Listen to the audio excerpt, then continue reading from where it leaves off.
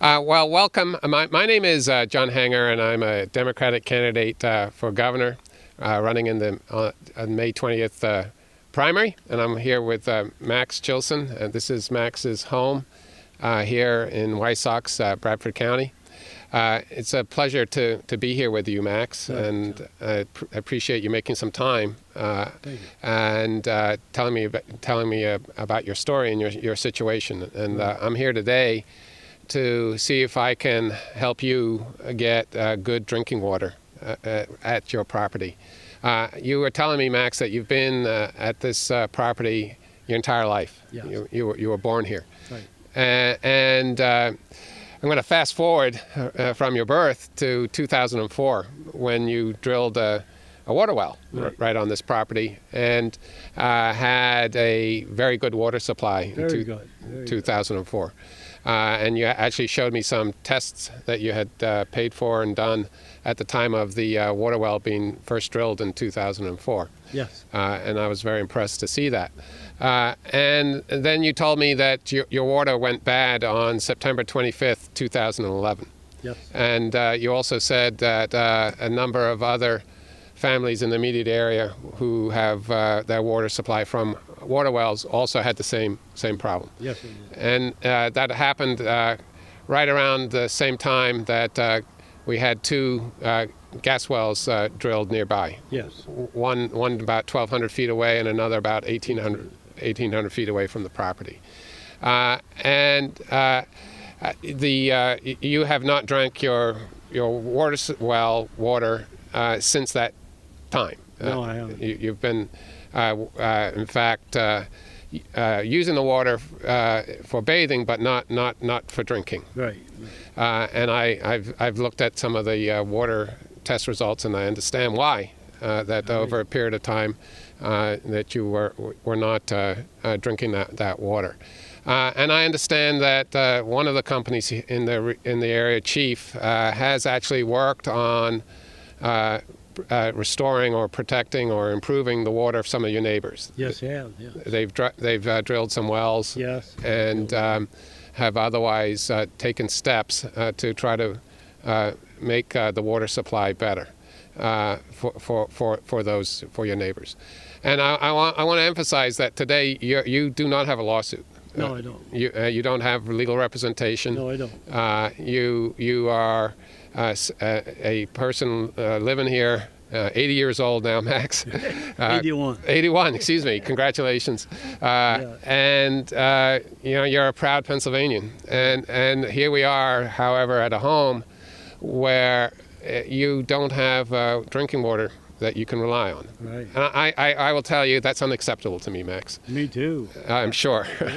um, and I would hope it would be unacceptable to all Pennsylvanians, uh, your neighbors, uh, unacceptable to uh, Governor Corbett, uh, unacceptable to uh, Chief uh, uh, uh, uh, Oil and Gas, um, who uh, I think uh, has worked on some other homes nearby to improve the water, and, and I would urge them to work with you Yeah. again. Again, you don't have a lawsuit. Uh, you, there's no attorneys running around here uh, getting in the way of, of doing what's right. Right. Uh, no, I view this issue f- right now, first and foremost, an issue of doing what's right, Right. and and and and really treating this uh, as a as a humanitarian issue. Every Pennsylvanian must have potable drinking water. Gotta have. Right. Right. And and you don't. So I, I want I want to I just want to get that fixed at this point. So I, I'm calling on, on Chief today to uh, come back and talk with you. Uh, if I can be helpful in those conversations, I'd be glad to to, to be helpful. Uh, I'm calling on them to do for you what they have done for others. Uh, and uh, I think you you're interested in a new water well. Yes. Just so I have good water. Right, new water well, and you even had talked about potentially a water buffalo with deliveries. But your, your what you want is it is a, is drinking water, and that's what I want to fight for you to, to get. I, I also understand that uh, you you your last time the Department of Environmental Protection tested your water was now basically a year ago. Yes. Yeah. Yes, it was. Uh, I think I looked at the test results in your Yes. in your kitchen, and it, it looked like it was uh, on January 29th, uh, 2013. Uh, and I, I know that you've had, uh, you know, your water kind of changes. The quality of the water changes over time. Uh, and um, in, in November, you were telling me that it turned black for a period of time. Right. And then, you know, it, the black stuff came and went away, but uh, and there was a horrible smell you were telling me about at that point. I, I find it uh, absolutely incredible that that DEP would not come out and test when you called them and said do- that. Yeah, I know.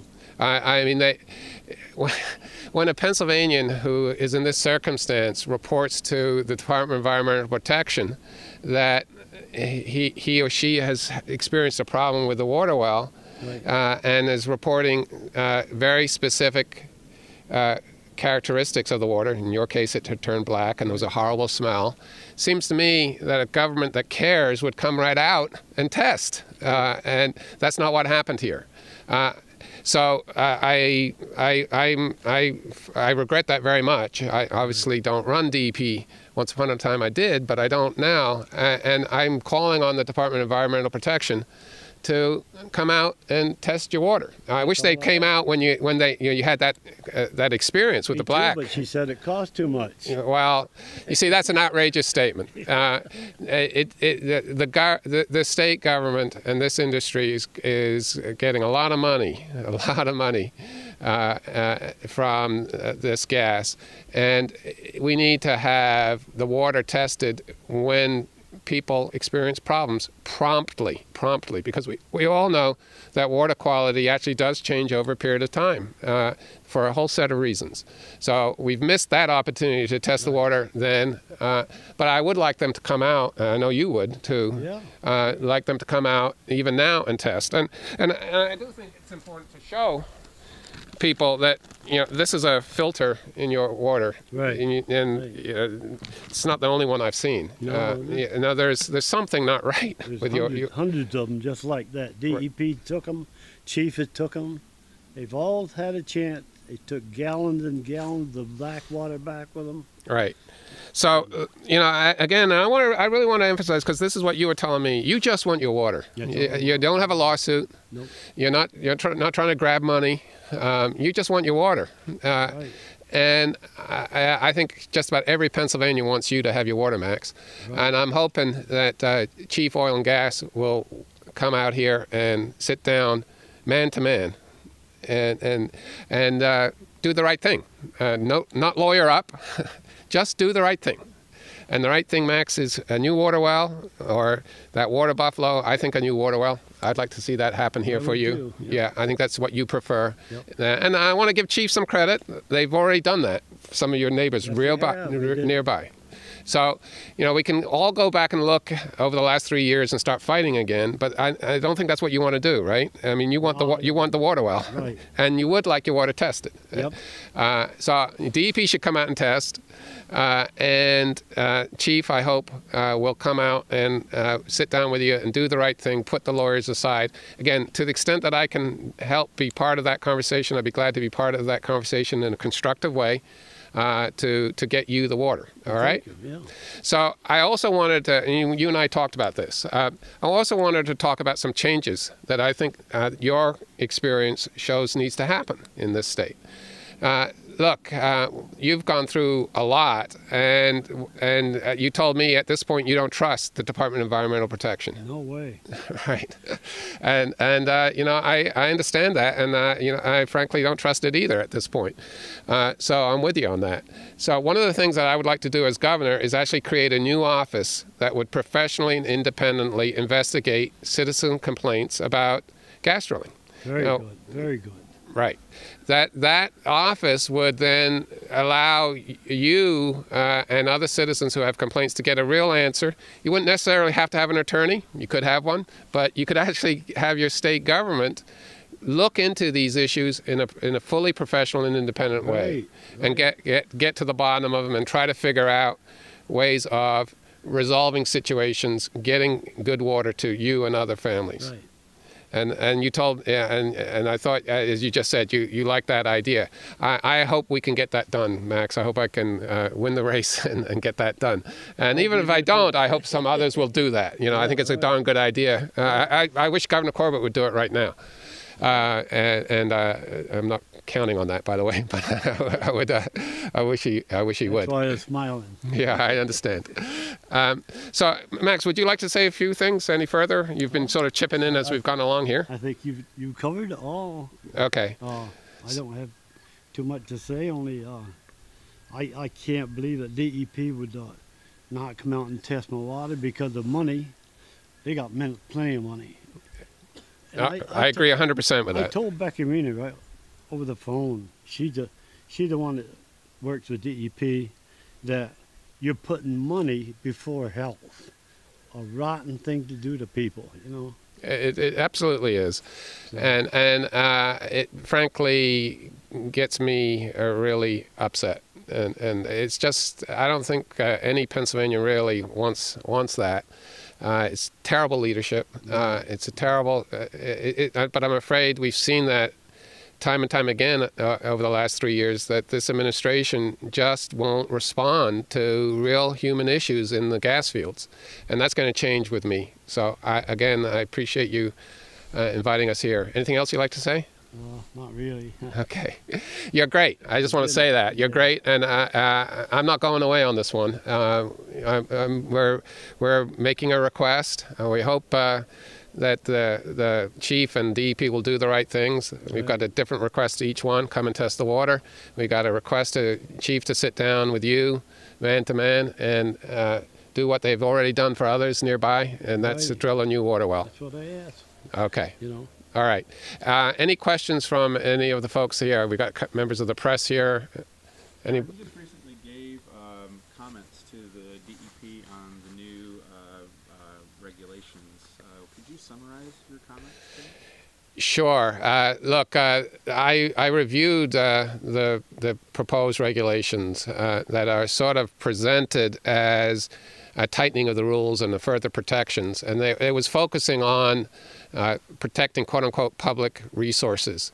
And the first thing I noticed about those regulations is that it didn't address any air issues. Uh, I consider land to be a public resource, water to be a public resource, of course, but air is too. And uh, so the first thing I said is these rules don't even address uh, air issues. So as we know, in some places, uh, it, air issues are the, the single biggest problem. Uh, it may be emissions from a, a drilling wastewater pit. It may be emissions from truck traffic or emissions from a compressor station. Uh, so uh, the first thing I said is you got to go back and, and include uh, new rules that, for air. There are uh, technologies, there are practices uh, that are available that are not always used that could cut air emissions by 90%. You can do green completions at a gas well, for example, and cut methane emissions by 90%. You can install various kinds of pollution controls on compressor stations and, and reduce emissions very significantly. There's things that are available today that are, used sometimes, but not all the time. And I, I said the rule should require that they be used all the time. The, the next thing that, that I said is that uh, some of the uh, provisions dealing with uh, notices to protect state parks, for for example, were, were ludicrously weak. Uh, uh, the the the rule. Uh, as proposed, would have required a drilling company to notify the Department of Conservation and Natural Resources or the Game Commission if they were going to drill within uh, 200 feet of a state park or game lands. Well, you know, if you put a major pad with all that kind of truck traffic within 200 feet of a state park, you're certainly going to impact the state park and the visitors. And, and I made the, the simple point that that's way too too small. We also know that gas, when there's a mistake in gas drilling, can migrate through the ground by at least a distance of 2,500 feet, at least. So I suggested that the notice to the to the agencies of a possible uh, gas well being drilled near a park should be no less than 2,500 feet. Uh, and uh, I also said that the rule that would allow the use of pits to store drilling wastewater uh, was way too weak. Uh, we, we, we no longer should allow drilling wastewater to be stored in pits. It's, some companies, by the way, don't do that anymore. They, some companies voluntarily no longer use pits to store drilling wastewater. But the rules, our regulations, should uh, ma- match that best practice, and we should ban the use of drilling pits to store uh, drilling wastewater. Uh, and there were a number of other uh, uh, parts of my comments like that, and, and they're actually available at our uh, website, hangerforgovernor.com. Other questions, comments? Okay. Question for Max? Sure. If you could step up to the mic, Max? Sure. Um, when this happened originally, you, asked for help. Can you tell me who you asked for help and, and the results that you got? Yeah, I asked uh, DEP for help and and Chief. They both responded good, and they had well intentions at first. Uh, I was promised uh, water buffalo at first. Next trip, they promised to drill me a new well. Next trip, they promised to pull the well, put all new stuff in. It was one promise on top of the other. And uh, as far as I knew, DEP uh, uh, said that they were to blame for my water going bad. And Chief did take the blame for my water going bad because they stepped up to the plate and they hauled me water. And uh, uh, like, and they were going through the stages of uh, putting together a, a program for me to sign. That they would put a UV system in and a filter system, and pay me three hundred dollars for filters, which is gone before you know it. was a joke, you know. Well, the I I never did sign for the for the them to do that because I wasn't I wasn't sure what that covered at that time. I didn't know if I could if anything else would have happened to my well that I'd be out, you know. So that was the story on that. But as far as them keeping their word, they none of them kept the word. DEP just as bad as chief is. What about the local representatives? Did you talk to any of them? Yes, I did. I I I contacted the county commissioners, uh, Tina Pickett, Yaw's office. Yaw, he didn't want nothing to do with it. He was scared to death. You can look at my papers. so, you know, and uh, yeah, I contacted a few of them to get help, but uh, it didn't it didn't do me no good because uh, I don't think they wanted to muck it with a, just one well like that, you know. I, you know, I think uh, what what you're t- telling us uh, is uh, is a is a bad story, uh, and what I what I'm hoping now is that we can actually write the last chapter uh, in a good way for you. You know, you're 81, and I kind of want to focus on what happens from here on. I know that's what your, where your head is right now because I've sat down and talked with you. Um, and and I, again, I want to emphasize you, you. You've told me you don't have an attorney. You're not suing people No, over I'm what may have happened to you. A lot of people would have, but uh, I'm, I'm, uh, I'm, I want that understood by people. At, at this point, that what you're asking for is something that human decency, I believe, demands. Just I, good water. Right. I don't want any Pennsylvanian living without potable water, and I will go to bat for you, Max, as I'm trying to do here today on your behalf, as well as anybody else in this circumstance. Any other questions? John, just to follow up Sure. to the last one. Um, so, actually, let me let me follow up to what you just said for a second. There are still uh, quite a few families in the Dimock area that have a lot of problems. Mm-hmm.